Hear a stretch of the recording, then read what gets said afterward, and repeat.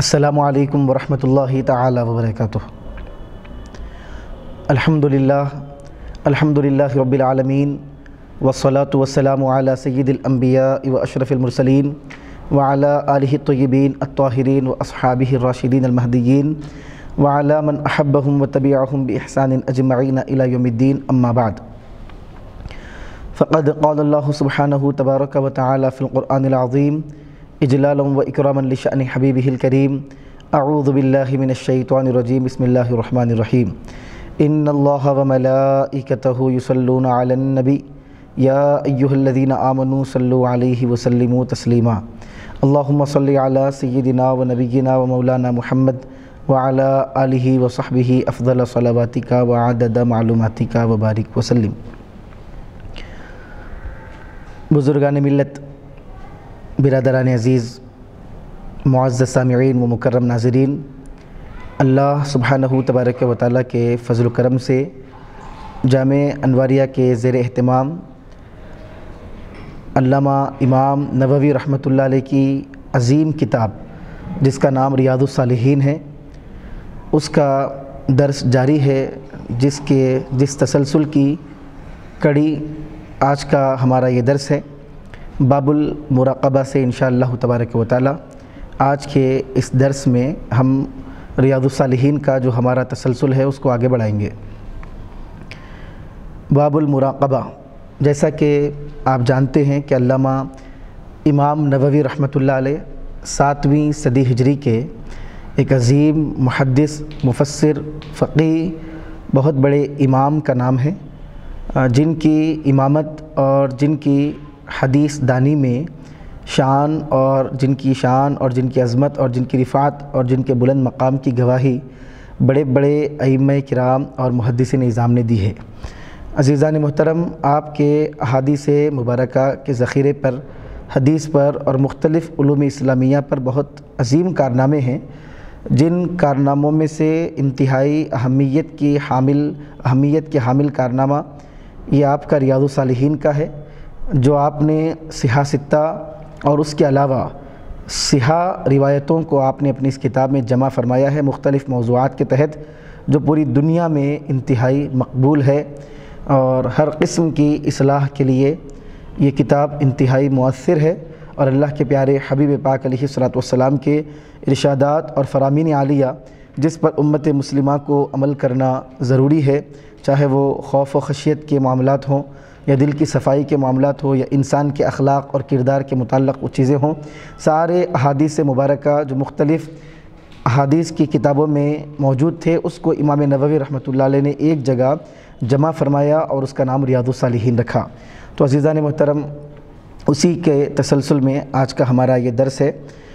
बाप पाँचवा बाब है, चार अब्बाब, अल्हम्दुलिल्लाह, अल्लाह के फ़ज़ल से हम मुकम्मल कर चुके हैं। ये पाँचवा बाब है, जिसका नाम है बाबुल मुराक़बा।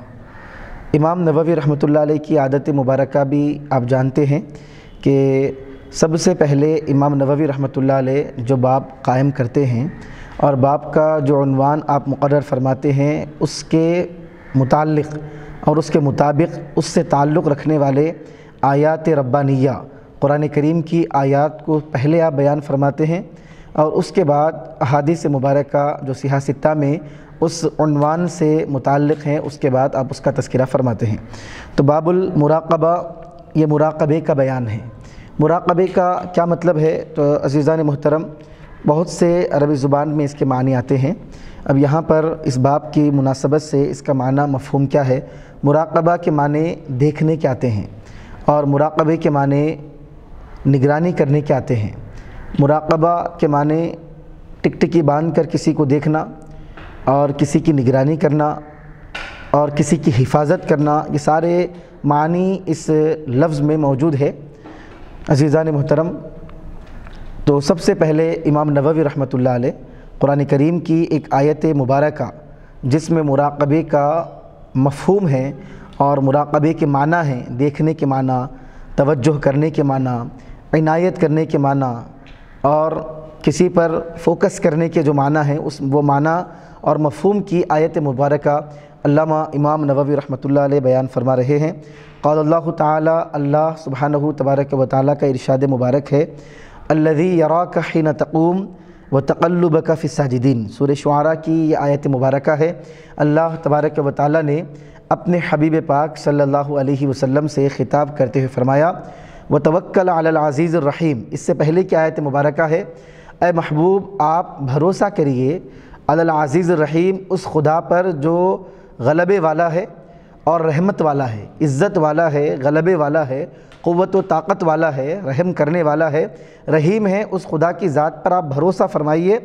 अल्लज़ी यरा का तकूम, ये दूसरी आयत मुबारक अज़ीज़ रहीम, जो अल्लाह ताला के नाम हैं अज़ीज़ और रहीम, ये उसकी सिफत के तौर पर यह आयत आई है। अल्लाह फरमा रहा है, आप भरोसा करिए, उस ज़ात पर जो अज़ीज़ है, रहीम है अल्लज़ी का तकूम, जो आपको देखती है। ही न तकूम, जब आप ठहरते हैं उस वक्त। अब इसका क्या मतलब है? अजीज़ान मोहतरम मुफसर ने कराम फरमाते हैं ही तकूम का मतलब ही न तकूम अला सलातिक है। यानी जब आप नमाज़ अदा करने के लिए ठहरते हैं तो अल्लाह तबारक व ताली अपनी ख़ास इनायतों में आपको रखता है। अल्लाह तवज्जुहात आपके ऊपर फरमाता है और अपनी रहमत और अपनी इनायत और अपनी तवज्जो अल्लाह तबारक व ताली आप पे निछावर फरमा देता है। ये मतलब इसका है, अल्लज़ी यरा का ही न तकूम व तकल्लुब का फ़िसाजिदीन और अल्लाह आगे फरमाता है अ महबूब, वो अज़ीज़ और रहीम अल्लाह की ज़ात है, जो आपको हर वक्त आपके ऊपर निगाह रखे हुए है। आप ठहरते हैं तो भी अल्लाह तबारक व ताली आप पे तवज्जो फरमाता है। आप बैठते हों तो भी अल्लाह आप पे तवज्जो फरमाता है। आप जिस मकाम पे चाहें, जिस मकाम से ठहरें, उठें और जहाँ बैठें, खुदा की ख़ास तवज्जुहात और अल्लाह तबारक व की ख़ास इनायतों में आप रहते हैं। तो ख़ास इनायतें करना, तवज्जो करना, किसी की निगरानी करना, किसी की निगहबानी करना, निगहदाश करना, ये सारे माना, मानी और मफाहिम को कहते हैं मुराकबा।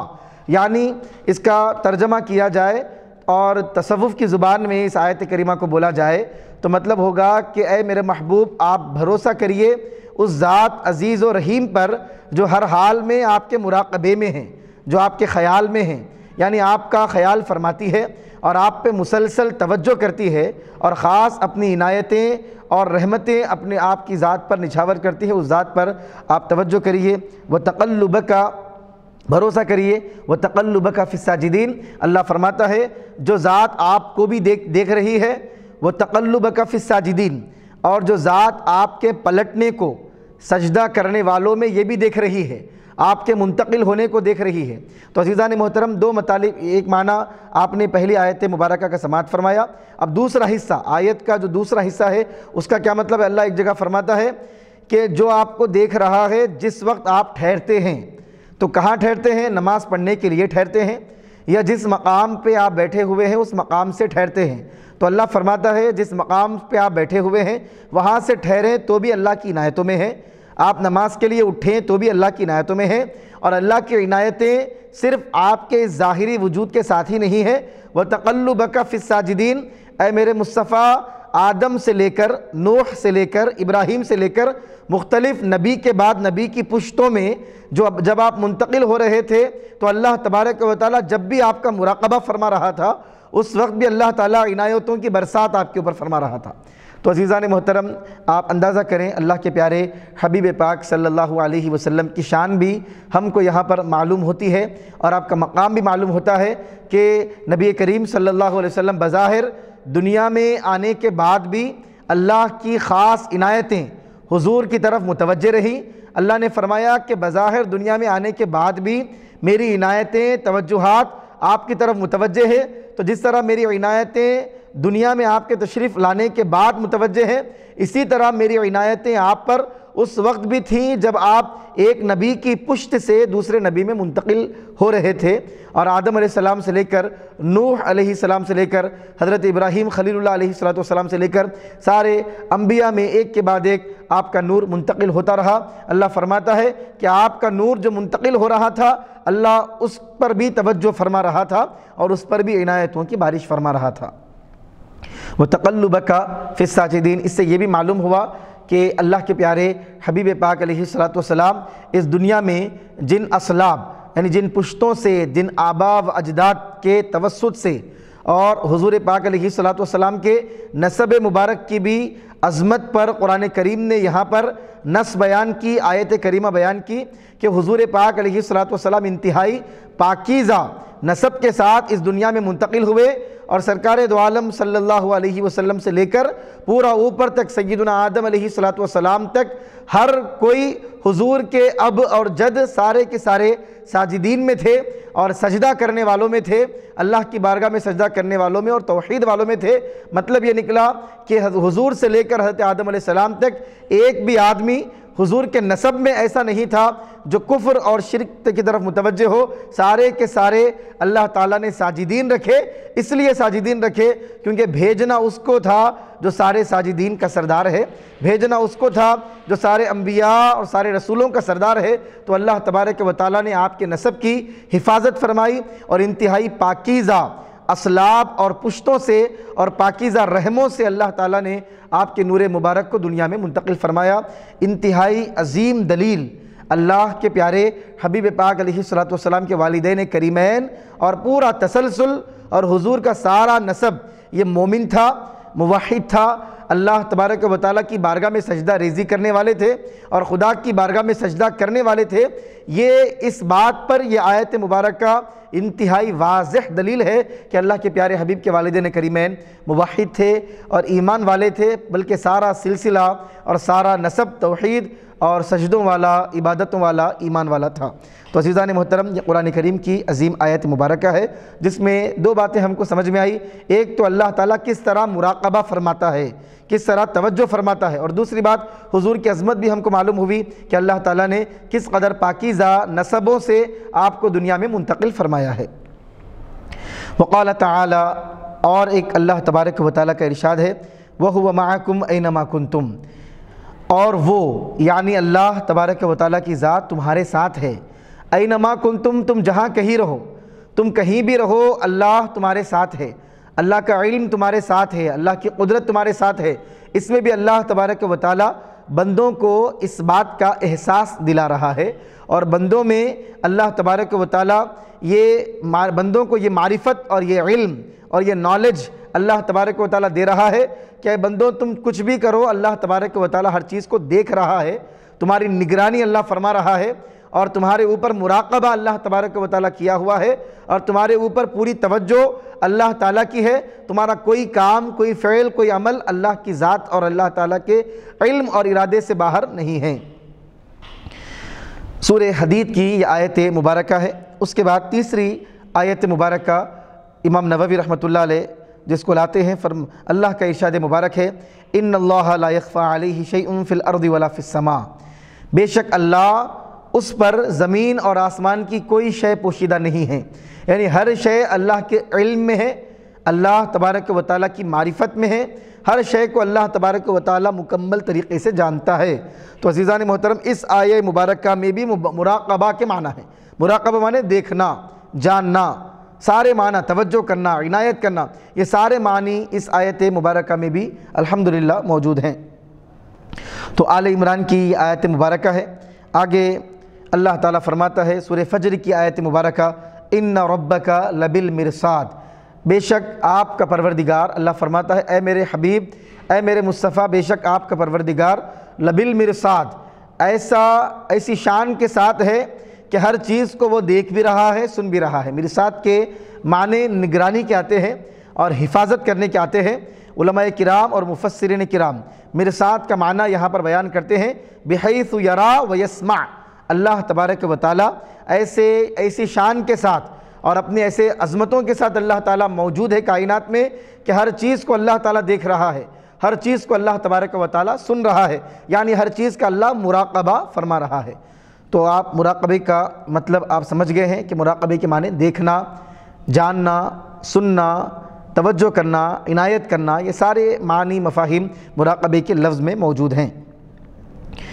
सूर गाफिर की आयत मुबारक है, अल्लाह फरमाता है या आलम वमा तुफ़ सदूर।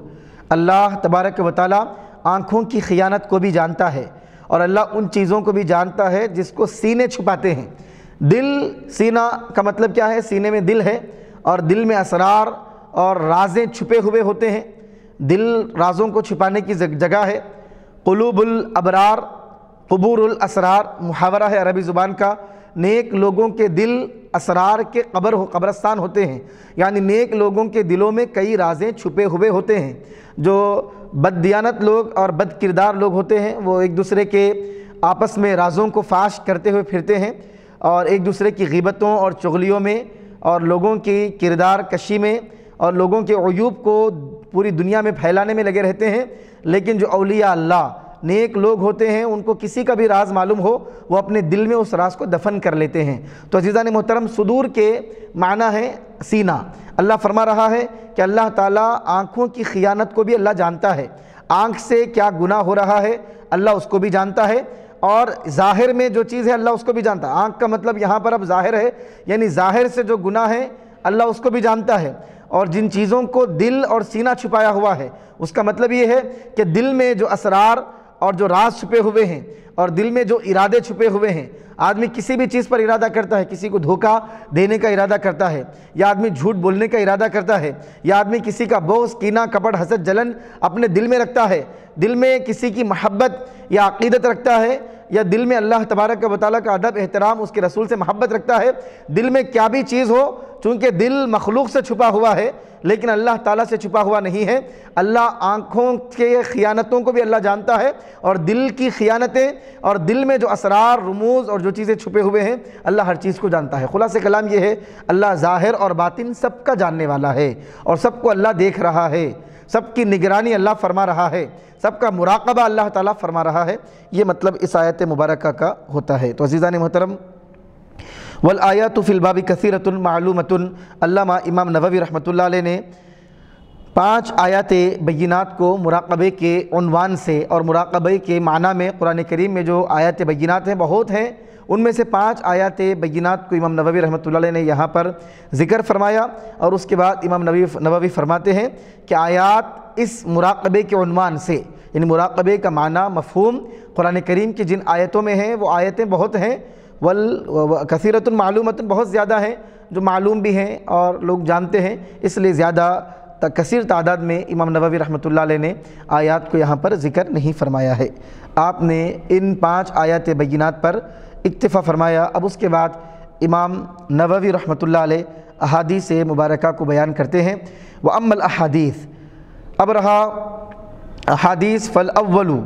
तो सबसे पहली हदीस, अन उमर अबनिल ख़त्ताब रज़ी अल्लाह सबसे पहली रिवायत, खलीफ़ सानी अमीरमिन खलीफ़ राशिद सैदना उमर बिन ख़त्ताब रज़ी अल्लाह तहु से रिवायत आप ज़िक्र फरमाते हैं।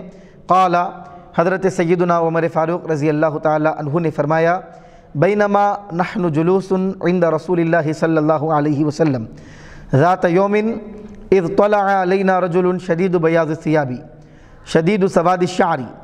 ला युरा असर सफ़र वला यारिफ़ मन्ना अहद।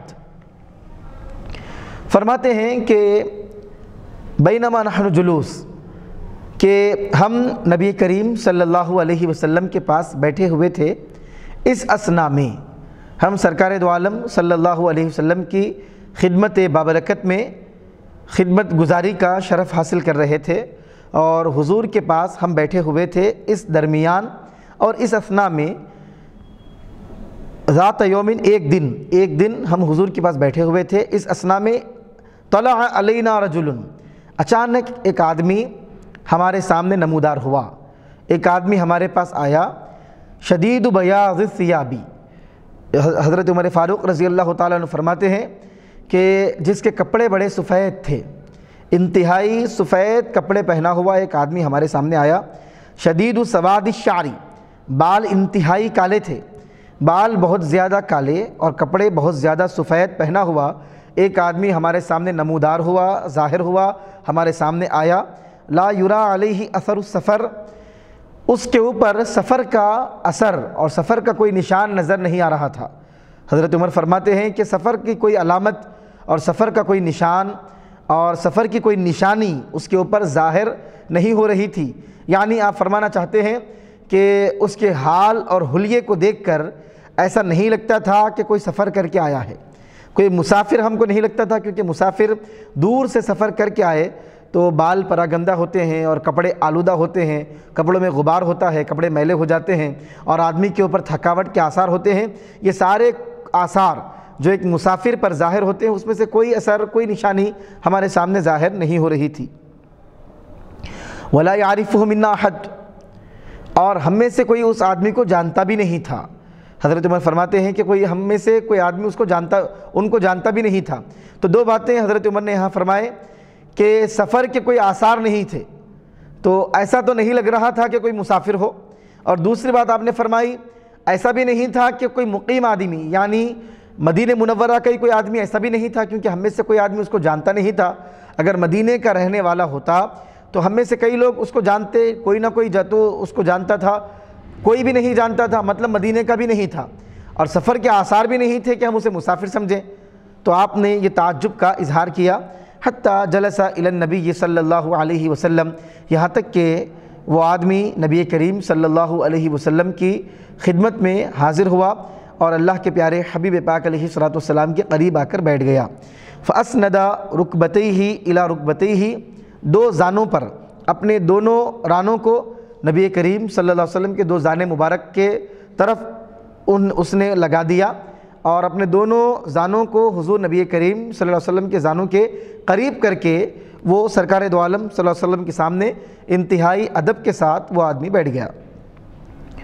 वबा कफ़ी ही आला फ़ीज़ ही और अपनी दोनों हथेलियों को अला फ़ीज़ ही अपने दोनों रानों पर वो रख लिया। अब इसमें उलमा किराम मुहदसिन किराम शारहीन दो मानी और दो मफाहिम बयान फरमाते हैं।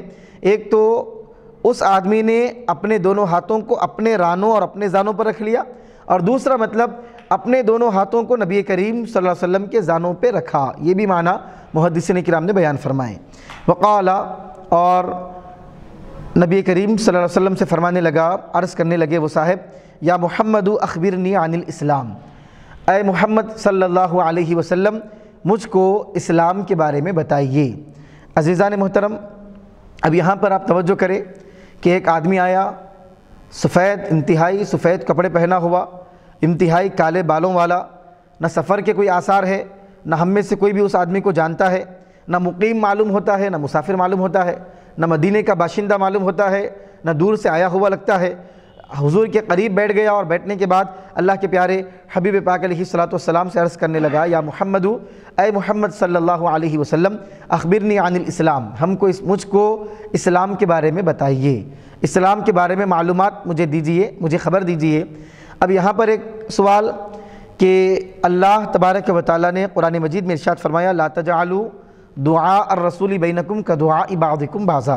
अरे लोग आपस में एक दूसरे को जैसे बुलाते हो, मेरे हबीब को उस तरह न बुलाओ किसी के लिए भी इस बात की इजाज़त नहीं है कि अल्लाह के प्यारे हबीब पाक सलाम को आपका नाम नामी और इसमें गिरामी लेकर बुलाए या मोहम्मद कहे, क्योंकि हर कोई या रसूल या हबीब अल्लाह इन्हीं कलिमात से अल्लाह के प्यारे हबीब पाक सलाम को निदा देते थे और सरकार दो आलम सल्लल्लाहु अलैहि वसल्लम की तवज्जुहात को इन्हीं अल्फाज से तलब करते थे।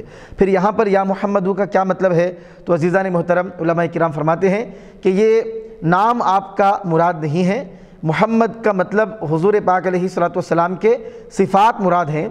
यानी ये मुराद है कि अय वो ज़ात जिनकी बहुत ज़्यादा तारीफ़ की जाती है, जिनकी तारीफ़ की शान और जिनके तारीफ़ का मकाम ये है कि ज़मीन में भी जिनकी तारीफ़ की जाती है, आसमानों में भी जिनकी तारीफ़ की जाती है। तो या मोहम्मद का मतलब अय वो ज़ात जो पैकर मिदहत सना है अय वो ज़ात जो सरतापा मिदहत और सरतापा सना और सरतापा तारीफ़ है और ज़मीन व आसमान सारा अल्लाह के प्यारे हबीब की तारीफ़ करता है और ज़मीन व आसमान कायनात तो कायनात ख़ुद खुदा भी आपकी तारीफ़ फरमाता है। ये मतलब है, या मोहम्मद अय वो ज़ात जिनकी बहुत ज़्यादा तारीफ़ की जाती है। तो अजीज़ा ने मोहतरम, अल्लाह ताला ने अपने हबीब का नाम भी ऐसा रखा कि जिस नाम में तारीफ़ ही तारीफ़ है तो ज़माना हुजूर की तारीफ़ात को बयान क्यों ना करे और उम्मत हुजूर की तारीफ़ात को क्यों ना बयान करे? अल्लाह ने नाम ही ऐसा रखा मोहम्मद मुस्तफ़ा सल्लल्लाहु अलैहि वसल्लम का, जिसके माना तारीफ़ ही तारीफ़ के हैं। तो नाम लेना और नाम से पुकारना यहाँ पर मुराद नहीं है। आपके अवसाफ़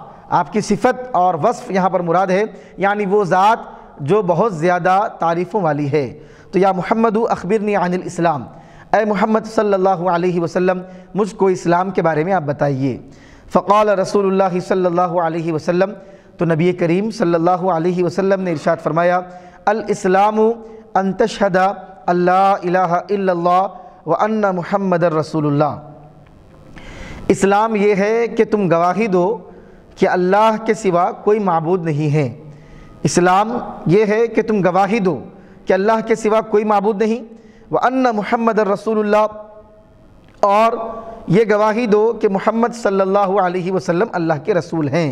यानी कलीम तय्यबा की तालीम मुस्तफ़ा जान रहमत सल्लल्लाहु अलैहि वसल्लम ने अता फ़रमाई और ये फरमाया कि सिर्फ़ ला इलाहा इल्लल्लाह बोलना काफ़ी नहीं है। व अन्ना मोहम्मद रसूलुल्लाह। ला इलाहा इल्लल्लाह व अन्ना मोहम्मद रसूलुल्लाह दोनों चीज़ों को जो पढ़ता है वही इस्लाम वाला है और वही मुसलमान है। वह तुकी मसला और फरमाया इस्लाम ये है कि तुम अल्लाह और उसके रसूल की गवाही दो। अल्लाह, ए अल्लाह के सिवा कोई मबूद नहीं। मोहम्मद सल्लल्लाहु अलैहि वसल्लम अल्लाह के रसूल हैं। वह तुकी मसला और तुम नमाज़ को कायम करो। व तुती ज़का, और ज़क़़त को अदा करो।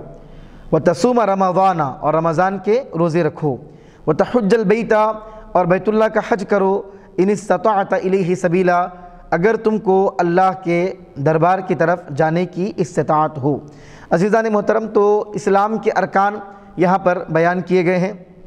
कलीमा शहादत ये इस्लाम के अरकान में से है। मुख्तलिफ़ अहादी से मुबारक में इसका ज़िक्र है। बुनियल इस्लाम अला खमसिन। इस्लाम की बुनियाद पाँच चीज़ों पर है। शहादती अल्लाह इलाहा इल्लल्लाह व अन्ना मोहम्मद रसूलुल्लाह व इक़ामसला व ईता ज़का व इतकामसला व ईता ज़का व सोमी रमज़ान व हज व ईता व सोमी रमज़ान व हज्जिल बैती। मन सतः सबीला। तो मुख्तलिफ़ रिवायतों में इन चीज़ों का तस्करा हमको मिलता है। तो नबी करीम सल्लल्लाहु अलैहि वसल्लम ने फरमाया, इस्लाम ये है कि तुम शहादतैन को अपनी ज़ुबान से अदा करो और नमाज़ को कायम करो, ज़क़़त अदा करो, रमज़ान के रोज़े रखो और बैतुल्ला का हज करो। तो अजीज़ा ने मोहतरम, यही फ़र्क इस्लाम और ईमान के बारे में है। दिल से किसी चीज़ को मानना ये ईमान है और ज़ुबान से उसका इकरार करना ये इस्लाम है। और इस्लाम का ताल्लुक़ अज़ा से जो अमल हम करते हैं उससे इस्लाम का ताल्लुक़ है। नमाज़ पढ़ना ये इस्लाम के इस, इसमें इस्लाम का माना है और इस्लाम के अरकान में से नमाज़ है और दीन के अरकान में से नमाज़ है। तो नमाज़ रोज़ा ज़क़़त हज ये वो चीज़ें हैं जो नज़र आती हैं जो दिखती हैं। आदमी अपने बदन के अज़ा से इन चीज़ों को अंजाम देता है। तो अजीज़ा ने मोहतरम जिन चीज़ों को आदमी आज़ाए जवारह अपने जिस्म के अज़ा से अंजाम देता है, उसको इस्लाम कहा जाता है और जिसका ताल्लुक़ दिल से है, उसको ईमान कहा जाता है। तो खुलास कलाम ये है, इस्लाम और ईमान में फ़र्क ये है, आज़ाए जवारह से जो आमाल सरजद होते हैं, जो काम होते हैं, वो इस्लाम है। जैसे कलीम शहादत, हम अपनी ज़ुबान से पढ़ते हैं तो ज़ुबान से कलीमा जारी हो रहा है तो ये इस्लाम है। और नमाज़ हम अपने बदन से नमाज़ पढ़ते हैं, ज़क़़त देते हैं, हज करते हैं, ये सारी वो चीज़ें हैं जो दिखाई देती हैं, नज़र आती हैं, ये इस्लाम है। और ईमान क्या है? दिल में अल्लाह के दीन की, अल्लाह की तस्दीक करना, अल्लाह के रसूल की तस्दीक करना और तमाम दीन की तस्दीक करना, अहकाम की तस्दीक करना, ये ईमान है। तो बेसिक फ़र्क और डिफरेंस इस्लाम और ईमान के दरमियान ज़ाहिर और बातिन का है। ज़ाहिर का ताल्लुक़ इस्लाम से है और ईमान का ताल्लुक़ बातिन से है। इस्लाम का ताल्लुक़ ज़ाहिर से, ईमान का ताल्लुक़ बातिन से है। काला सदकता, जब उस आदमी ने सुना, इस्लाम ये है तो वह कहने लगा, सदकता आपने सच फरमाया आप सादिक हैं। फ़ाजिबना लहू यस अलहू व युसद्दिक हज़रत उमर फ़ारूक रज़ी अल्लाह तु फरमाते हैं कि हमको ताज्जुब होने लगा कि यस अलहू व युसद्दिक वही सवाल करता है और वही तस्दीक करता है।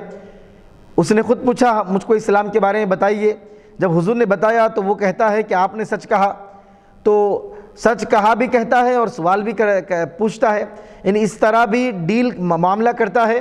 कि उसको, उस चीज़ का पता है और इल्म है और फिर सवाल भी कर रहा है। जब मालूम है तो फिर सवाल किस बात का? और जब सवाल कर रहा है तो फिर तस्दीक किस बात की? तो हमको ताज्जुब होने लगा कि साइल भी वही है, पूछने वाला भी वही है और तस्दीक करने वाला भी वही है, क्योंकि आम तौर पे ऐसा नहीं होता किसी आलिम और मुफ्ती के सामने अगर कोई आदमी आकर कुछ सवाल पूछे। और मुफ्ती साहब बताइए इसका जवाब क्या है? और मुफ्ती साहब जवाब दे दें तो जवाब देने के बाद मुफ्ती साहब को अगर वो आदमी कहे कि आपने सच फरमाया तो ताज्जुब किया जाता है कि भाई, सच फरमाया, ये वो आदमी कहता है जिसको इल्म हो, जिसको मालूम हो। और जब मालूम हो तो फिर सवाल कैसा? और सवाल किया है तो फिर मालूम है इसका इजहार कैसा? तो इस पर साहब कराम को ताजुब होने लगा। काला फ़ाखबिरनी आनिल ईमान। हज़रत मेरे फ़ारूक फरमाते हैं, फिर उसने कहा, मुझको ईमान के बारे में मुझे बताइए। काला तुमिन बिल्ला व मलाइकती व कुतुबी व रसुली वलयोमिल आखिरी व तुमिन बिलक़दरी खैरी ही बिलक़दर खैरी ही व शर्री ही फरमाया तुमिन बिल्ला ईमान क्या है? तुम अल्लाह पर ईमान लाओ। अल्लाह को दिल से मानो। अल्लाह की तस्दीक करो। ईमान के माने तस्दीक करने के भी आते हैं। अल्लाह की तस्दीक करो। मलाइका, फ़रिश्तों की अल्लाह के सारे फ़रिश्तों पर ईमान लाओ। सारे फ़रिश्तों को दिल से मानो। ईमान लाने का मतलब क्या है? दिल से मानना। आपने फरमाया, ईमान क्या है? तो हुजूर ने फरमाया अंतुकमिना बिल्ला कि तुम अल्लाह को दिल से मानो। उसके सारे फ़रिश्तों को दिल से मानो। सारे रसूलों का को दिल से मानो और सारे और आखिरत के दिन को दिल से मानो और और तुम ईमान लाओ, दिल से मानो बिलकदरी खैरी ही व शर्री ही, कि तकदीर चाहे अच्छी हो या बुरी हो, ये सब अल्लाह की तरफ़ से है और अल्लाह तबारक व ताली के इरादे से है।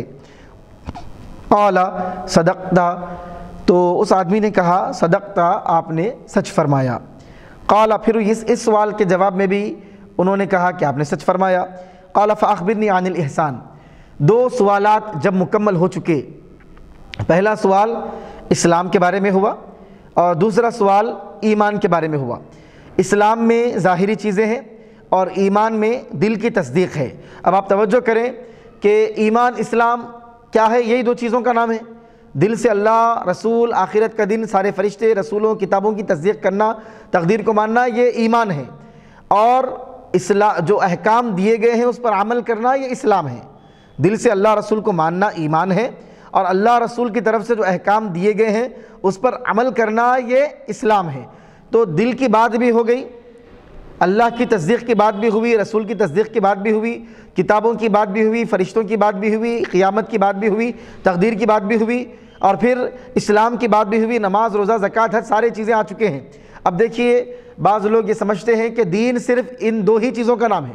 लोगों के पास ऐसा तस्वुर है कि दीन, नमाज़, रोज़ा, ज़क़़त, हज का नाम है और दीन सिर्फ़ अल्लाह रसूल की तस्दीक का नाम है। दीन में सिर्फ़ ये दो ही चीज़ें हैं और इस्लाम और ईमान से रिलेटेड चीज़ें ही हैं और इसके अलावा दीन कुछ भी नहीं है, ये दीन मुकम्मल है, इस तरह लोग समझते हैं। लेकिन अजीज़ा ने मोहतरम, अंदाज़ा करें, अगर दीन इन दो चीज़ों पर मुकम्मल हो जाता तो तीसरा सवाल नहीं होता। आपने तीसरा सवाल किया अखबिरनी अनिल एहसानी। या रसोल्ला मुझे बताइए, एहसान किसे कहते हैं? उन्होंने पूछा कि मुझे ख़बर दीजिए, मुझे बताइए एहसान के बारे में, एहसान क्या है? काला, नबी करीम सल्लल्लाहु अलैहि वसल्लम ने फरमाया अंता अबूदल्ला का अन्न का तरा। अल्लाह की इबादत ऐसे करना गोया के खुदा तुम्हें देख रहा है, इस यकीन और इस एतक़ाद के साथ, और इस एतमाद के साथ, एतक़ाद के साथ, इस यकीन के साथ, इस ईमान के साथ अल्लाह की इबादत करना गोया के खुदा तुम्हें देख रहा है। फ़िल्म तकुन तराहू फ़िन यरा का फिर हजूर ने फरमाया कि अगर तुम्हारी कैफियत अभी इतनी बुलंदी पर नहीं पहुँची हो कि तुम्हारे दिल में ये कैफियत पैदा हो कि खुदा, कि तुम्हारे दिल में ऐसी कैफियत पैदा हो, तुम्हारी निगाह में ऐसा उजाला पैदा हो कि तुम अल्लाह के अनवार और तजल्लियात को देखो, ये कैफियत तुम्हारे अंदर पैदा ना हो फ़ैन यरा का तो इस बात का यकीन रखो कि खुदा तुम्हें देख रहा है। तो अजीज़ा ने मोहतरम, आप अंदाज़ा करें, दो जुमले नबी करीम सल्लल्लाहु अलैहि वसल्लम ने बयान फरमाए। पहला हुजूर ने फरमाया कि अल्लाह की इबादत ऐसे करो जैसा कि तुम उसे देख रहे हो। इबादत अल्लाह की ऐसे करो गोया कि तुम खुदा को देख रहे हो। अगर तुम अल्लाह को नहीं देख सकते तो इबादत ऐसे करो, दिल में इस ये यकीन रख के करो कि अल्लाह तुम्हें देख रहा है। तो बंदा अपनी इबादत के ज़रिए और बंदगी के ज़रिए अखलास के ज़रिए इतने ऊँचे मकाम पे पहुँच जाए कि अल्लाह का जलवा उसे नज़र आए और अल्लाह का दीदार उसे हो और ख़ुदा की तजलियात और अनवार को वो देखने लगे तो इसको इसको कहते हैं मकाम मुशाहदा, तसव्वुफ़ की ज़ुबान में। इसको मुशाहदा कहते हैं कि बंदा इतने ऊँचे मकाम पे पहुँच गया है कि अब अल्लाह के अनवार और तजलियात का मुशाहदा कर रहा है। और बंदा इस कैफियत में न पहुँचे कि खुदा के जलवों और अल्लाह की नूरानी तजलियात का मुशाहदा कर सके तो दिल में ये यकीन हो और ये कैफियत तो कम से कम हो कि मैं इबादत कर रहा हूँ तो अल्लाह मुझे देख रहा है। तो हम अल्लाह को देख रहे हैं और अल्लाह की तजलियात को देख रहे हैं, ये कैफियत पैदा हो तो इसको तसव्वुफ़ की ज़ुबान में मुशाहदा कहते हैं। और ये कैफियत पैदा हो कि खुदा हमें देख रहा है तो इसको मुराकबा कहते हैं। तो तसवुफ़ में मुशाहदा, मुराकबा, ये जो अल्फाज आप सुनते हैं ये कोई नए अल्फाज नहीं है। और तसवुफ़ और अहल मारिफत की जो बातें, और अलिया अल्लाह की बातें ये कुछ अलग नहीं है, बल्कि ये दीन का हिस्सा है।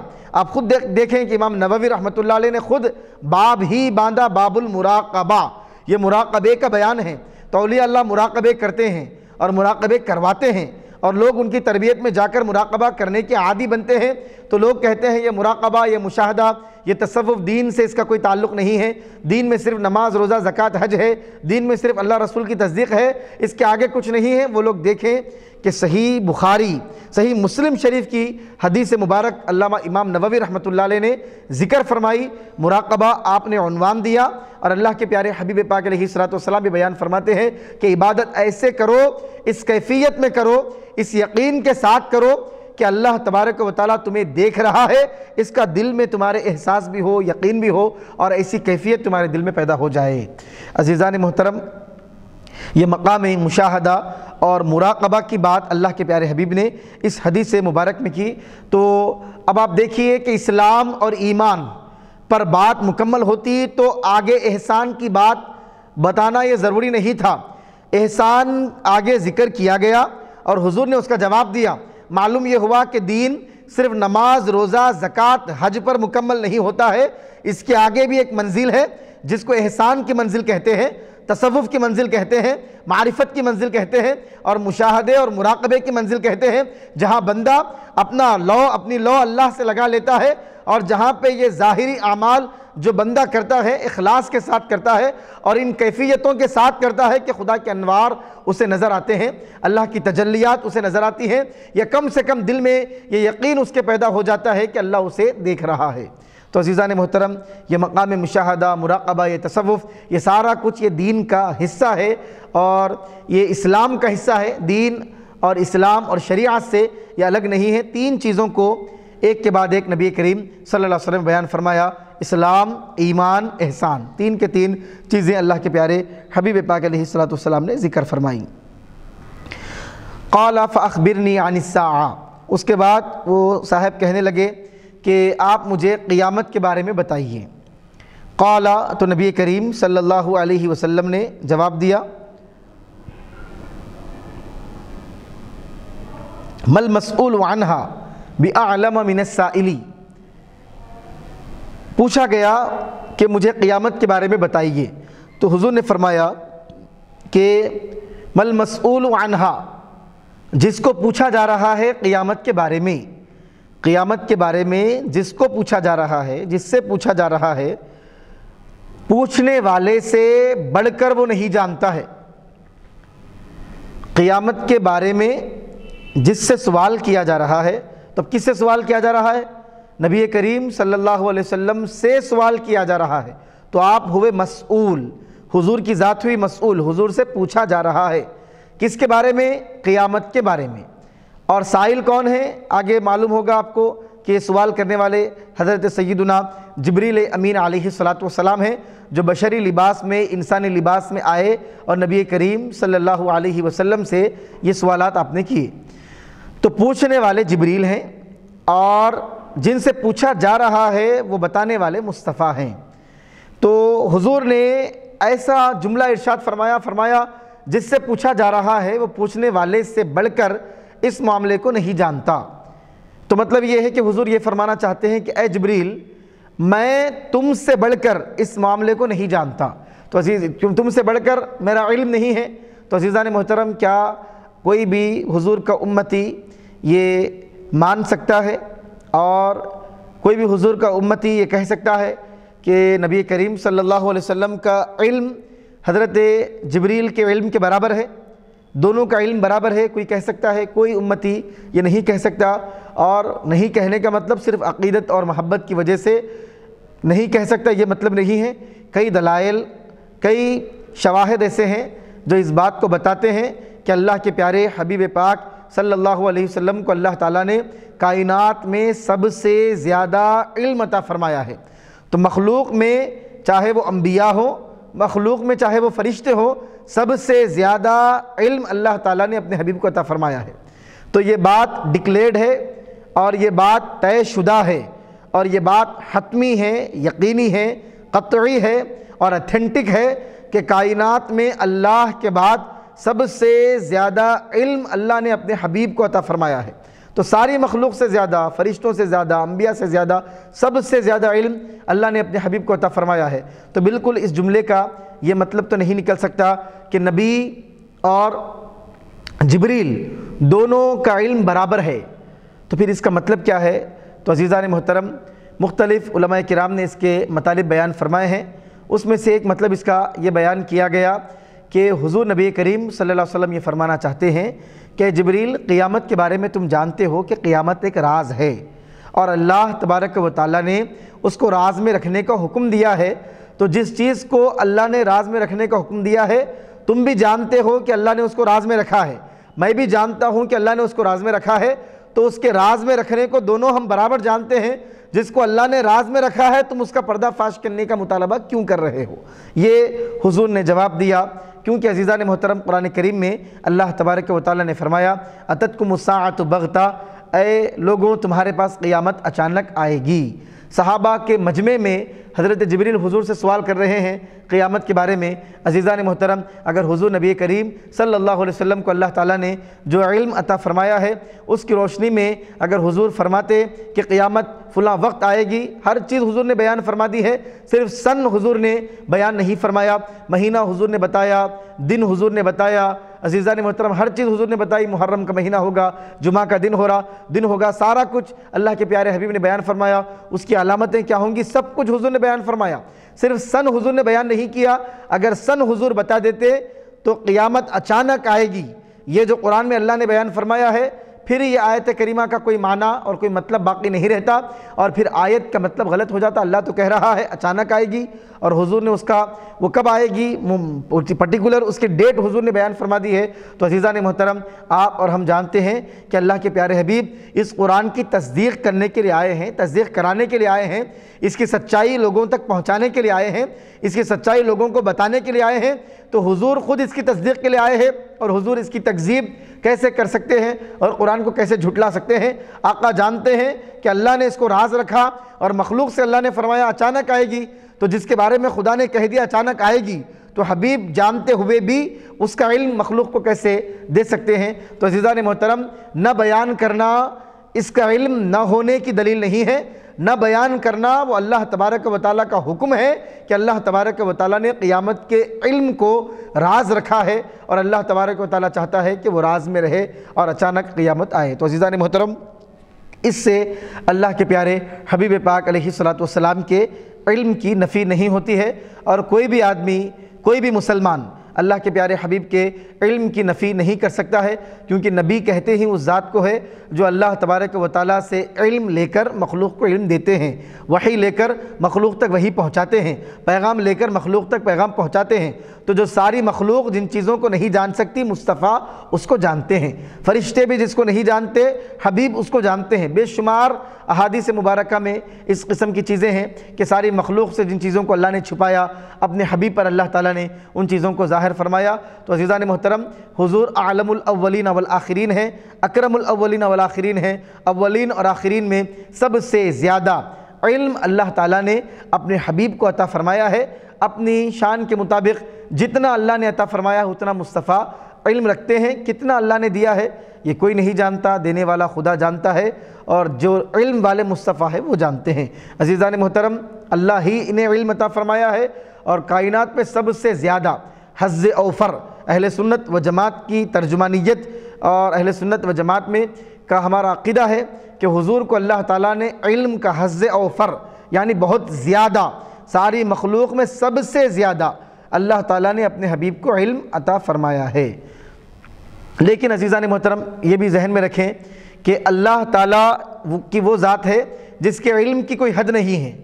और अल्लाह के प्यारे हबीब, कायनात में अल्लाह के बाद सबसे ज़्यादा इल्म रखने वाले मुस्तफ़ा हैं, लेकिन जितना भी ज़्यादा हो, उसकी एक हद मौजूद है। अल्लाह के इल्म के मुकाबिल में उसकी एक हद मौजूद है। उस हद तक जानते हैं जिस हद तक अल्लाह ने आपको इल्म अता फ़रमाया है। तो अजीज़ा ने मोहतरम, मखलूक और खालिक के इल्म में ये फ़र्क है। मखलूक उतना जानती है जितना अल्लाह ने उनको बताया है। और खालिक के जानने और खालिक के इल्म की कोई हद नहीं है। तो अजीज़ा ने मोहतरम, उम्मत मुस्लिमा, ये अतदाल वाली उम्मत है। और अहल सुन्नत व जमात, इसमें जो सवाद आज़म, जो बड़ी जमात है मुसलमानों में, के फ़िरक़ों में, तबक़ों में सबसे बड़ी जमात, ये भी अतदाल वाली जमात है। अल्लाह तबारक व ताली के बराबर इल्म रखते हैं। इंतहाई नौज़ बिल्ला यह अक़ीदा बिल्कुल गलत है, बातिल है, और कुफ्र की तरफ़ यह अक़ीदा ले जाता है। अजीज़ा ने मोहतरम, और इल्म ही नहीं रखते हैं। यह हक़ से नावाकफ़ियत है और कुरान हदीस के बेशुमार दलाइल का इसमें इनकार है और बदअीदगी है, बददीनी है। एक तरफ़ हुजूर का इनकार करना, ये भी इंतहाई बहुत बड़ी गलती है और इंतहाई गुमराही की बात है और अकीदे की ख़राबी की बात है। और दूसरी तरफ़ हुजूर के इल्म को अल्लाह के बराबर कहना यह भी इंतहाई बातिल अकीदा है, हुजूर का इल्म उतना है जितना अल्लाह ने अता फ़रमाया है। लेकिन उसकी हद है और अल्लाह तबारक व का इल्म लामहदूद है। उसकी कोई हद नहीं है। ये फ़र्क है अल्लाह और उसके रसूल के इल्म में। अजीज़ा ने मोहतरम फ़ाखबिर यानी साइल ने कहा और हुजूर ने उसका जवाब दिया कि अल्लाह तबारक व ने इसको राज में रखा है। और हमारे लिए इजाज़त नहीं है कि हम इस राज को लोगों के सामने ज़ाहिर करें। यह इसका मफहम और माना होता है। कालफ़ अखबिरनी अन अमारातिहा। फिर आपने फरमाया कि, या रसूल अल्लाह मुझको उसकी निशानियों के बारे में आप बताइए कि क़ियामत की निशानियाँ क्या होंगी? क़ियामत के अमारात और क़ियामत की अलामतें क्या होंगी? क़ियामत जब आएगी आएगी तो उससे उसके आने से पहले क्या आसार दुनिया में रोनुमा होंगे? क्या आसार दुनिया में नमूदार और ज़ाहिर होंगे? क्या आसार लोगों को नज़र आएँगे? खाला तो नबी करीम सल्लल्लाहु अलैहि वसल्लम ने बयान फरमाया अजीज़ा ने मोहतरम, ये भी आप समात करें कि मुख्तलिफ़ अहादीस मुबारक में अल्लाह के प्यारे हबीब पाक सलाम ने क़ियामत की अलामतों को बयान फरमाया है। और मुहदसिन ने उन अलामतों को दो अलामतों में डिवाइड किया। फरमाया, बाज़ अलामत हैं जिनको अलामत सगरा कहते हैं छोटी छोटी अलामतें। यानी जो क़ियामत के बहुत आने से बहुत पहले जो छोटी छोटी छोटी छोटी चीज़ें होते चले जाएँगी और बाज़ अलामत कुबरा हैं, बड़ी बड़ी अलामतें। जैसे दज्जाल का आना, हज़रत ईसा सलाम का आना, हज़रत महदी का आना, याजूज माजूद का आना, ये बड़ी बड़ी अलामतें हैं। तो क़ियामत के करीब जो अलामतें ज़ाहिर होंगी, उसकी दो किस्में हैं। बाज़ अलामतें छोटी अलामतें, अलामत सगरा जिनको कहते हैं, और बाज़ अलामत कुबरा, बड़ी अलामतें जिनको कहा जाता है। दो किस्म की अलामतें क़ियामत की हैं। तो उन्होंने कहा फ़ाकबिन अनिसफ़ान मारातिहा मुझको उसकी अलामतों के बारे में आप बताइए। काला अनतलिदल अमत रब्बतहा। क़ियामत की निशानियों और अलामतों में से ये बात है कि बांदी अपनी मालिका को जन्म देगी। बांदी होगी और सईदा को जन्म देगी, मालिका को जन्म देगी। अब इसका क्या मतलब है? एक रिवायत में रब्बतहा भी है और बाज़ रिवायतों में रब्बहा भी आया है कि मालिक बांदी अपने आका को जन्म देगी। क्या मतलब है? तो अजीज़ा ने मोहतरम मुहदसिन किराम फरमाते हैं कि क़ियामत के करीब फतूहत का सिलसिला बढ़ जाएगा।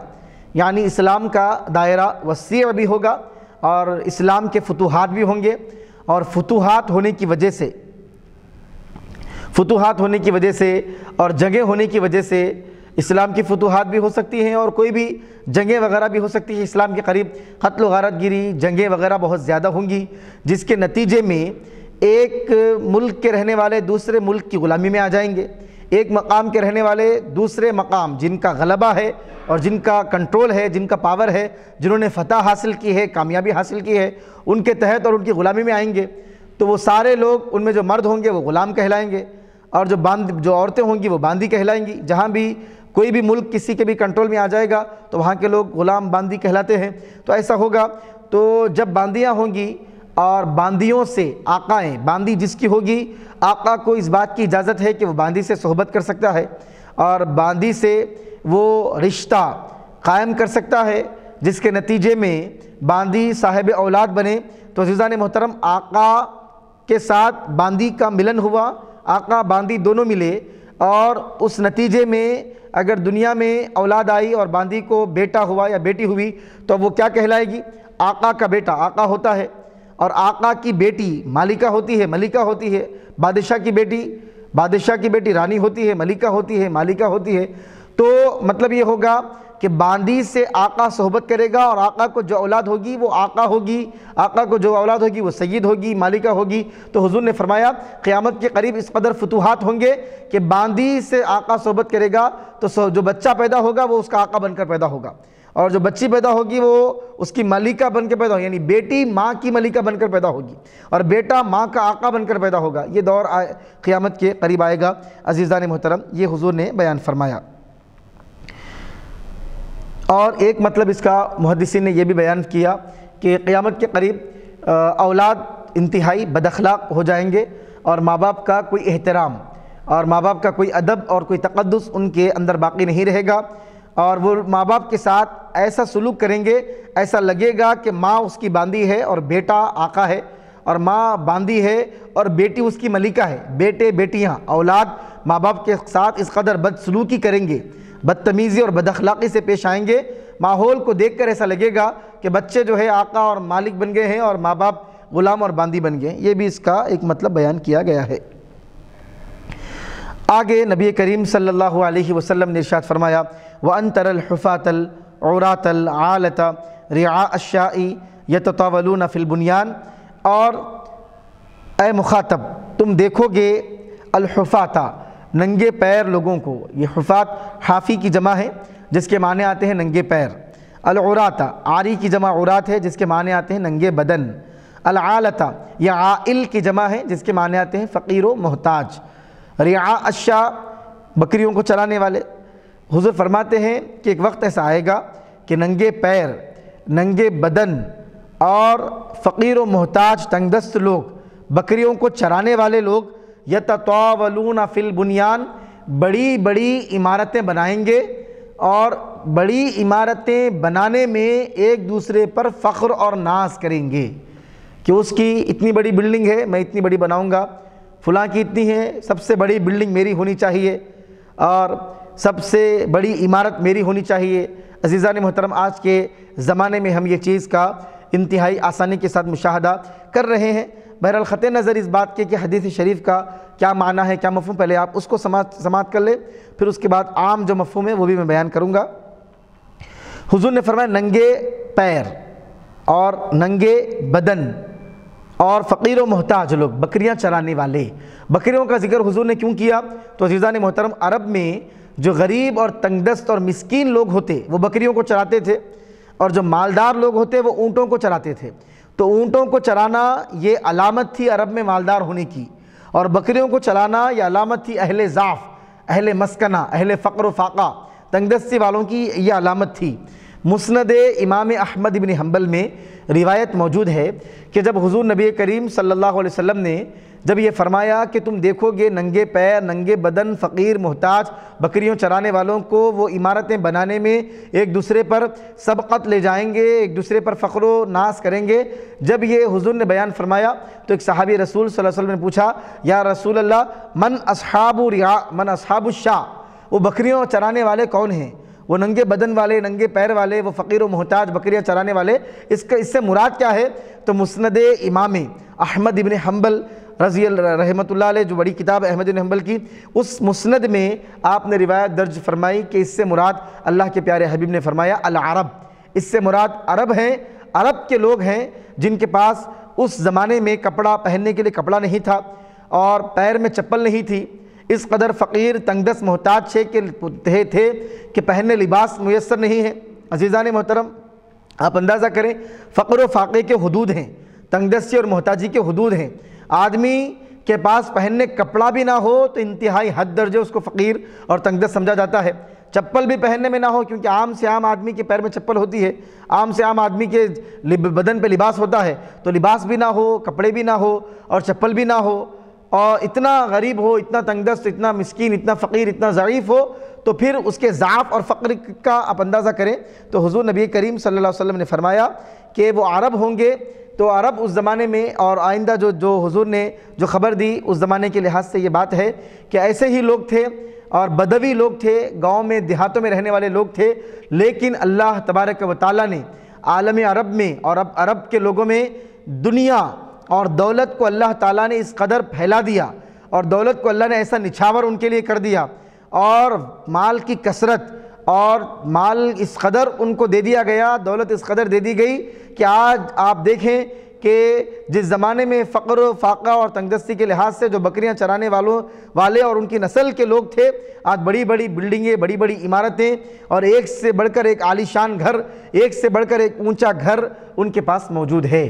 तो अजीज़ा ने मोहतरम अल्लाह के प्यारे हबीब पाक सलाम ने यह ख़बर दी कि क़ियामत के करीब दौलत इतनी ज़्यादा हो जाएगी, दौलत की कसरत इतनी हो जाएगी कि फ़कीर फ़कीर नहीं रहेगा, तंगदस तंगदस नहीं रहेगा जिसके पास चप्पल ना हो, कपड़े ना हो, वो भी इतना मालदार और इतना मालदार हो जाएगा कि बड़ी बड़ी बिल्डिंगें ही नहीं बनाएगा, बल्कि एक दूसरे से तकाबुल करेंगे कंपटीशन करेंगे और एक दूसरे पर सबकत ले जाने, एक दूसरे को पीछे करने और एक दूसरे पर नाज और फ़ख्र करने की कोशिश करेंगे। और आज हम देख रहे हैं, अरब ही अरब अरब क्या? अरब के अलावा भी पूरी दुनिया में आज लोग अपने आप को बड़ा बताने के पीछे हैं।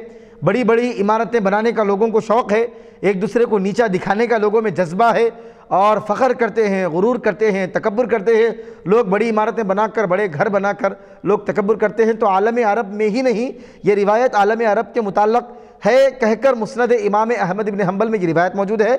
लेकिन अजीज़ा ने मोहतरम, हदीस का आम माना मफहम ले तो पूरी दुनिया में हम देख सकते हैं कि जिनके पास कोई चीज़ मौजूद नहीं थी, ऐसे लोग भी आज अल्लाह के फ़ज़ल और अल्लाह के करम की वजह से इस कदर बुलंद हो चुके हैं कि बड़ी बड़ी इमारतें बना रहे हैं। अजीज़ा ने मोहतरम शारीन हदीस, इस हदीस से मुबारक की तशरी करते हुए फरमाते हैं कि इमारत का बड़ा बनाना या फ़कीर आदमी का मालदार हो जाना, इसकी अल्लाह ताला न मजम्मत कर रहा है, न अल्लाह के रसूल मजम्मत कर रहे हैं। फ़कीर आदमी को इस बात का आर नहीं दिलाया जा रहा है कि तू फ़कीर था, अब मालदार हो गया, ये आर नहीं दिलाया जा रहा है। उसको शर्मिंदा नहीं किया जा रहा है और कोई मजम्मत इसके अंदर किसी की भी नहीं है। हुजूर ने सिर्फ़ क़ियामत की अलामतें बयान की है कि क़ियामत के करीब ऐसा होगा। अब फिर क़ियामत के करीब जहाँ ऐसा होगा, जहाँ पे जो लोग फ़क्र के बाद, मालदार बनने के बाद इमारतें बनाकर फ़ख्र करेंगे, गुरूर करेंगे, उनके लिए मजम्मत है। और जो लोग फ़क्र थे, फाले थे, फ़ाक़े वाले थे, तंगदस थे, लेकिन अल्लाह तबारक व ताली ने माला माल किया, वो इमारतें बनाए, और आजीज़ी वाले हैं इंकसारी वाले हैं, शुक्र का जज्बा रखने वाले हैं, मखलूक के साथ हमदर्दी करने वाले हैं तो वो इंतहाई तारीफ़ वाले हैं। तो इसमें मजम्मत भी है तो उन लोगों की है जो फ़क्र फा, फ़ाक़े के बाद मालदार बनने के बाद जिनमें गुरूर तकबर ताली और लोगों को नीचे दिखाना लोगों को हकीर समझना लोगों की तहकीर करना ये आदतें जिनके अंदर पैदा हो उनकी इसमें मजम्मत है। वरना सिर्फ़ के कोई इमारत बनाए कोई तामीर बनाए ये मजम्मत की बात नहीं है। तो अजीज़ा ने मोहतरम हदीस मुबारक को कमा हक़ समझने की ज़रूरत है और पूरा उसका माना मफहम क्या है, उसके मुताबिक समझने की ज़रूरत है। बड़े बड़े शारहन हदीस ने इसका माना बयान किया कि दुनिया लोगों के सामने खोल दी जाएगी। दुनिया, यानी दौलत लोगों के लिए बहुत आसान हो जाएगी। पैसा लोग आसानी से कमाएँगे और बहुत मालदार से मालदार लोग बनते चले जाएँगे कि फ़कीर से फ़कीर अदना दर्जे का फ़कीर भी इतना मालदार हो जाएगा। तो आप अंदाज़ा करें, हुजूर ने इस पस मंज़र ने, में ऐसी मिसाल हुजूर नबी करीम वसल्लम ने अता फरमाई कि फ़कीर से फ़कीर तंगदस्त आदमी भी इतना मालदार होगा, इतना मालदार होगा कि इमारत भी बनाएगा और लोगों से लोगों के टक्कर पे बनाएगा, लोगों से कंपटीशन करेगा, लोगों पे फ़ख्र करने की कोशिश करेगा। तो फ़ख्र करने की कोशिश करे तकबर करे, गुरूर करे तो ये ये मजम्मत है, काबिल मजम्मत है, और कुरान हदीस में इसकी मजम्मत है, और शुक्र बजा लाता है तो वो इंतहाई तारीफ़ के काबिल चीज़ है। सुमन तलक़ा, फिर वो साहेब चल पड़े और निकल पड़े अपने मकाम से। फ़लबिस तो मलियन तो मैं अपनी जगह थोड़ी देर रुका रहा। हज़रत उमर फ़ारूक फरमाते हैं कि वो साहब सवालत किए और सवालत के बाद अब वो साहब चल पड़े। फ़लबिस्त मलियन, मैं थोड़ी देर रुका रहा। सुम मकाला फिर फरमाया, या उमरू, मैं थोड़ी देर रुका रहा तो हुजूर ने मुझसे फरमाया, थोड़ी देर के बाद, अतदरी मनिसाइलु, अय उमर, क्या तुम जानते हो कि ये साहिल कौन है? ये जो साहिल सवाल करने वाले अभी आए थे, इस्लाम के बारे में, ईमान के बारे में, एहसान के बारे में, क़ियामत के बारे में, उसकी अलामतों के बारे में, ये कौन थे क्या तुम जानते हो? उल तो मैंने कहा, अल्लाह व रसूल आलम। अल्लाह और उसके रसूल ज़्यादा जानते हैं। अब अजीज़ा ने मोहतरम, यहाँ से हम सहाबा का अकीदा और उनका एतक़ाद क्या क्या था, उसका हम अंदाज़ा कर सकते हैं कि हज़रत उमर फ़ारूक रज़ी अल्लाह तु चाहते तो ये फरमाते कि अल्लाह जानता है। आपने नहीं कहा, क्योंकि आप ये जानते थे कि अल्लाह जानता है और उसी जानने वाले खुदा ने अपने हबीब को इल्म वाला बनाया है और इल्म अता किया है और अल्लाह की अता से हबीब भी जानते हैं। तो आपने फरमाया, अल्लाह और उसके रसूल दोनों ज़्यादा जानते हैं। हुजूर ने पूछा, क्या तुम जानते हो कि साहिल कौन थे? आपने जवाब दिया, अल्लाह और उसके रसूल जानते हैं। तो अजीज़ा ने मोहतरम, अगर किसी को कोई चीज़ मालूम ना हो और वो ये कहे कि अल्लाह रसूल जानता है, अल्लाह और उसके रसूल जानते हैं तो कोई शिरक की बात नहीं है, ये कुफर की बात नहीं है, अल्लाह और उसके रसूल के इल्म को बराबर करने की बात नहीं है। अरे ये तो वो तरीक़ा है जो सहाबा से हमको मिला है। सहाबा तो सहाबा खुलफ़ा राशिदीन में हज़रत उमर फ़ारूक रज़ी अल्लाह ताली जो खलीफ राशिद हैं, खलीफ सानी हैं अमीरमिन हैं, जिनके बारे में हुजूर ने फरमाया लौकाना बादी नबी लकाना उमर, मेरे बाद कोई नबी होता तो उमर होते। ऐसे अजीम जलीलकद्र खलीफ राशिद सहाबी का ये तरीक़ा है और आपका ये अकीदा है और आपका ये अंदाज़ है कि आप फरमाते हैं कि अल्लाह और उसके रसूल ज़्यादा जानते हैं। तो अजीज़ा ने मोहतरम, दीन को सहाबा ज़्यादा जानते हैं ये हम ज़्यादा जानते हैं, हमको इसका एनालाइज करने की ज़रूरत है। और दीन वो दीन के मालूम और दीन का अकीदा हमको वो रखने की ज़रूरत है, जिस, जो सहाबा और अहल बैत से हमको मिला है। हम दीन वो मानेंगे जो कुरान, हदीस, सहाबा से हमको मिला है। हमारी अक्ल के लिहाज से दीन और अकीदा हम नहीं बना सकते हैं। हम पाबंद हैं शरीयत के। दीन वो होगा जो अल्लाह और उसके रसूल और सहाबा और अहल बैत और इम्मा का, की तशरीहत की रोशनी में हम तक पहुँचा है। क़ाला तो नबी करीम वसल्लम ने फरमाया फ़ैन जबरील या अताकुम युआलिमुकुम अमर दीनिकुम अय उमर सुनो बेशक वो जबरील थे अताकुम तुम्हारे पास आए थे तुमको तुम्हारा दीन सिखाने के लिए दीन के मामला तुमको सिखाने के लिए इस्लाम क्या है ईमान क्या है एहसान क्या है क़ियामत क्या है ये सारी चीज़ों को बताने के लिए आए थे अजीज़ान मोहतरम वो क्यों आए थे इसमें भी किराम के मुख्तलिफ़ तोजीहत हैं कि साहब कराम रज़ी अल्लाह मजमाइन हया करते थे और डरते थे और सवाल करने के लिए अदब के मामला थे, एहतराम थे तो नगाहों को झुकाकर खामोश बैठ जाते थे।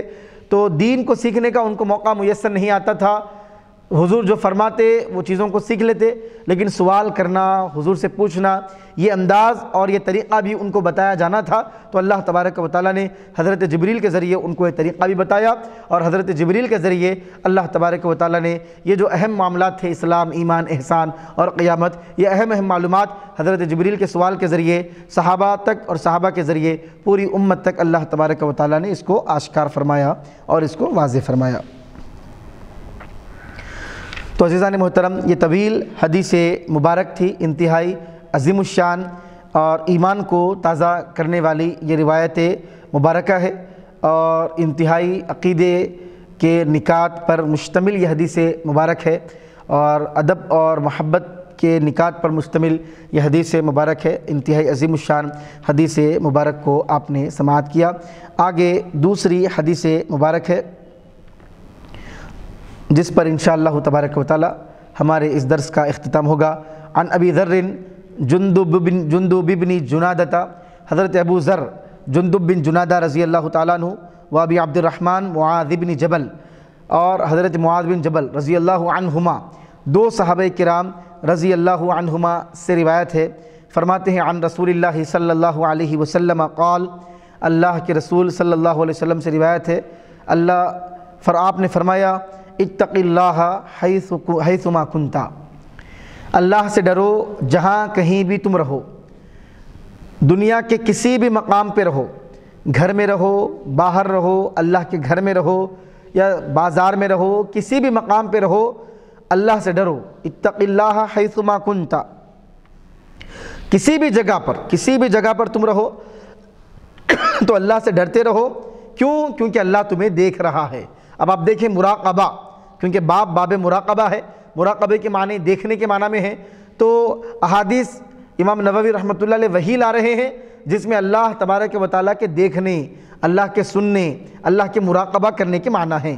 तो आपने हुजूर ने फरमाया इतक़िल्ला अय बंदे तो अल्लाह से डरते रहे, हैसुमा कुंता। किसी भी मकाम पे रहो, किसी भी जगह पे रहो, लेकिन अल्लाह से डरते रहो क्योंकि अल्लाह तुम्हें देख रहा है। व अतबिसतल हसनता तमहा व खालिकन्नासा बखुलकिन हसनिन और हुजूर ने आगे फरमाया कि सही अतल हसनता अगर बशरी तकाज़े की वजह से कोई गुनाह हो जाए तो गुनाह के फौरी बाद नेकी किया करो क्योंकि गुनाह के बाद की जाने वाली नेकी गुनाह को मेट देती है वातब हुजूर फरमाते हैं कि तुम पीछे लाओ फौरी कोई भी गुनाह बशरी तकाज़े की वजह से सरजद हो जाए और कोई गलती हो जाए, इंसान है, बशर है, बशरी तकाज़े हैं, जिसकी वजह से कोई गुनाह सरजद हो जाए तो फौरी क्या करो? हुजूर फरमाते हैं, गुनाह होते ही नेक काम करो। जैसे ही गलती हो जाए, नमाज़ तुम अदा करो, सदका करो, खैरात करो, लोगों के साथ हमदर्दी का मामला करो।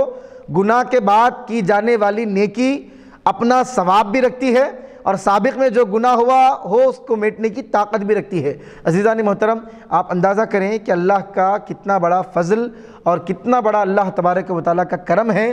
बंदा नेकी भी करता है तो सबक में किया हुआ गुनाह अल्लाह उससे मिटा देता है। तो नेकी करने में हमको किस कदर सबकत करना चाहिए और किस कदर आगे बढ़ बढ़ कर नेकी करना चाहिए, इसका भी हम इससे अंदाज़ा कर सकते हैं।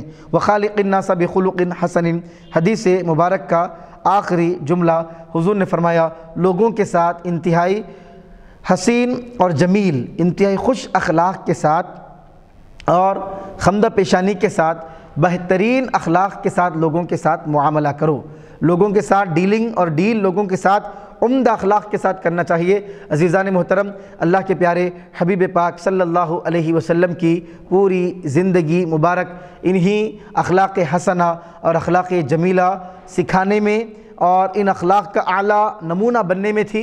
सरकार दो आलम सल्लल्लाहु अलैहि वसल्लम ने अखलाक व किरदार से 40 साल तक अपने अखलाक व किरदार से सारे लोगों को अपना गिरविदा अल्लाह के प्यारे हबीब ने बनाया था। लोग आपसे मोहब्बत करते थे, लोग आपको अमीन कहते थे, सादिक कहते थे। आपके अखलाक को लोग इस कदर मानते थे कि मक्के में सबसे बुलंद अखलाक वाला आपको कहते थे। और ये तो ये अल्लाह तबारक व ताली ने भी आपके अखलाक की बुलंदी का ज़िक्र किया। व इन कला खलुक अज़ीम। मेरे हबीब, आप खलुक अज़ीम की बुलंदी पर अल्लाह ने आपको फ़ायज़ फरमाया है। खलुक अज़ीम, आला जो अखलाक है, वो भी आपके कदमों के नीचे हैं, आप तो उससे भी ऊपर हैं। इस कदर बुलंद अखलाक का अल्लाह के प्यारे हबीब पाक सलाम ने मुजाहरा फरमाया और बेशुमार अहादीस मुबारक मुबारक में अखलाक को संवारने और अच्छे अखलाक की तरगीब दी गई। अल्लाह के प्यारे हबीब फरमाते हैं कि क़ियामत के दिन नाम अमाल और मीज़ान में सबसे भारी अगर कोई चीज़ होगी तो वह अखलाक होंगे।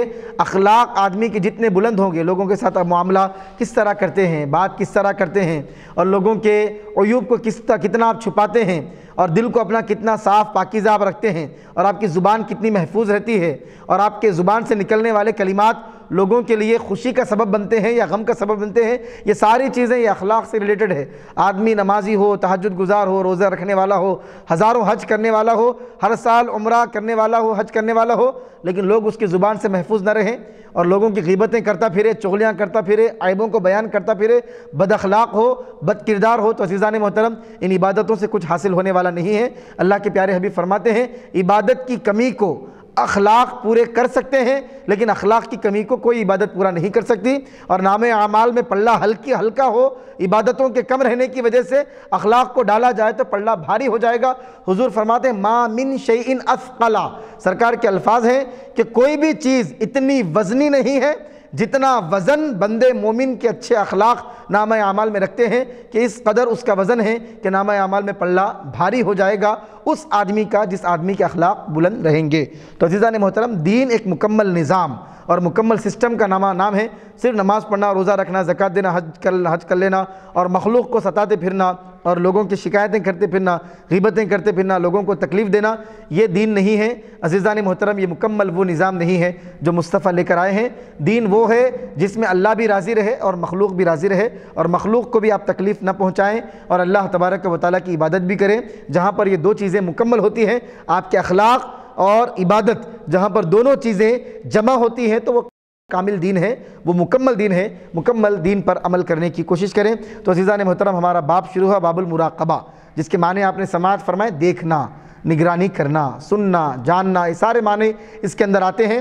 तो वो अहादीस मुबारक इमाम नववी रहमत ला रहे हैं, जिसके अंदर मुराकबे के माना हो। आपने आयत बैनात का ज़िक्र किया, जिसमें अल्लाह तबारक व ताली बार बार फरमा रहा है, अल्लाह ताला दिल के असरार को जानता है, अल्लाह हर चीज़ को जानने वाला है, अल्लाह हर चीज़ को देखता है, वही माना, वही मफहम उन आयात में था। और दो अहादीस मुबारक आपने ज़िक्र किए, जहाँ पर वो मुराकबे के माना है। पहली हदीस में ये माना थे कि तुम इबादत ऐसे करो जैसे कि तुम अल्लाह को देख रहे हो, या ऐसे करो कि अल्लाह तुम्हें देख रहा है। देखने का माना वहाँ भी था, और देखने का माना यहाँ भी है कि तुम अल्लाह से डरो, जहाँ कहीं तुम रहो, क्योंकि अल्लाह तुम्हें देख रहा है। तो देख रहा है, देख रहा है। वो हदीस में भी वही, और ये हदीस में ये। तो ये जो मफहम इन दो अहादीस मुबारक में था, इसकी वजह से इमाम नबी रहमत ने इन दोनों अहादीस को अपने बाबुल मुराकबा में आपने इसका ज़िक्र किया। इन शह तबारक वाली अगली नशस्त में आइंदा के जो अहादीस मुबारक है उसका बयान होगा। अल्लाह ताला से दुआ है। मौला हदीस मुबारक पर हमको अमल करने की तोफ़ी अता फ़रमा। मौला सारे उम्मत मुस्लिमा को इस बात की हिदायत अता फ़रमा कि वह हदीस मुबारक पर अमल करें और जो हमने सुना है, मौला जो कहा है, उसमें कुछ गलती हुई हो तो मौला अपने फजल करम से माफ़ फरमा और सुनने से ज़्यादा अमल करने की तोफ़ी अदा फ़रमा। और हादिस मुबारक का सारी उम्मत तक पहुँचाने की हमको तोफ़ी अदा फ़रमा। और मौला सारी उम्मत जो परेशान हाल है, मौला उनकी परेशानी को दूर फरमा। जो तंगदस्त मोहताज है, उनकी तंगदस्ती मोहताजी को दूर फरमा। सारी उम्मत पर अपना खसूस रहम फरमा, फ़जल फरमा, करम फरमा। हम सब की दुआओं को अपने हबीब के वसीले से कबूल फरमा। व आखिर दावाना अनिलहमदिल्ला रबालमीन वमा अलैना इल्लल बलाग।